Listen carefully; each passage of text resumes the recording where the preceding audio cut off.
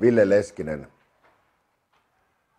todellinen luontainen maalintekijä, omaa loistavan kyvyn viimeistellä kolmesta metristä. Tasaisuus tulevina kausina sitä myötä nousu liikaa ehdottomaan eli Hieno jatkaa myös ensi kaudella täällä. Mennään joukkueena ja myös henkilökohtaisesti eteenpäin. Nähdään ensi kaudella. On hienoa, että Pieksämään kaupunki sai kummipelaajaksi Pieksämään oman kasvatin Ville Leskisen, joka vie positiivista mainekuvaa maailmalle.